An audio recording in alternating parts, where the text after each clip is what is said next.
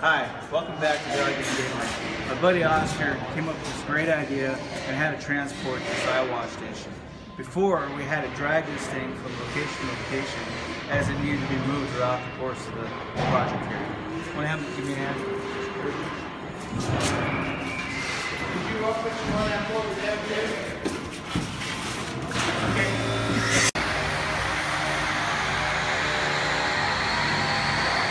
So now we have wheels set up uh, the base of our eye wash station. By doing this, we're actually knocking out, knocking out possible back injuries or muscle strains.